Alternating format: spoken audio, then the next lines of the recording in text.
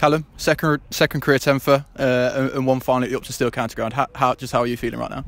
Absolutely delighted. Uh, it's been a long time coming. I think my first tenfer was in my first year at the club in 2017. So delighted. Obviously, a great three days. The boys put in a lot of hard work, set up beautifully by the batters. Um, and yeah, as, as a bowling group, I thought we're, we're pretty good. So top three days, and hopefully can continue.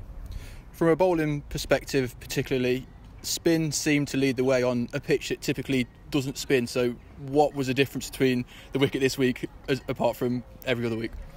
Yeah, a bit drier, um, and I think we had a real aim to try and make it spin. We, we identified that at the start of the week as a potential matchup that we could expose them, uh, and we got our tactics spot on. Uh, shout out to Andy, the groundsman, um, got the pitch exactly how we wanted it, but a lot of credit has to go to Marcus Harris and Colin Ackermann uh, on day one if we don't get 450, it's a different game. So big shout out to them. They, they laid a platform that I didn't think we, we could get beat from. So really pleased. Top effort from all the boys.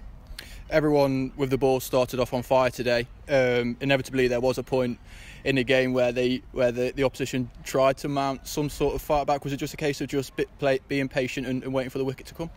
Yeah, definitely. We, we spoke as a group saying that it's not just going to happen. Um, Gloucester obviously a good side. They've been at the top of the table for, for quite a couple of weeks now. So we knew it was going to be tough. Uh, and to be fair to Tattersall and Cockburn, they played nicely.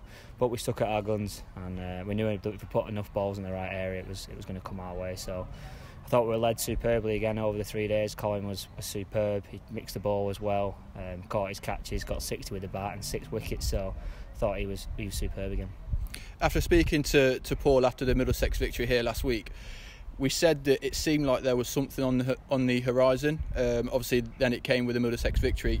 Is the going now back to back for the first time in a couple of years, and for the club, is that a case of putting in the hard yards earlier in the season against the likes of Surrey and Somerset and, and Hampshire?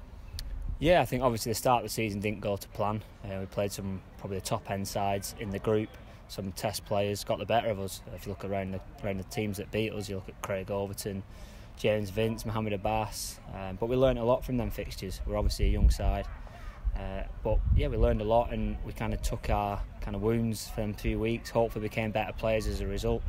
And yeah, weeks like this make it all worthwhile. And just looking into the future now, obviously the Vitality Blast starts next week. A lot of momentum as a group, but also personally for you to take into that competition. Hopefully, go all the way. Yeah, definitely. We've got a good T20 squad, uh, a lot of options, and it's obviously a format that we did well last year. So, again, hopefully don't get looked too far ahead, but we just got to be as prepared as we can for Lancs on Thursday and, and hit them hard.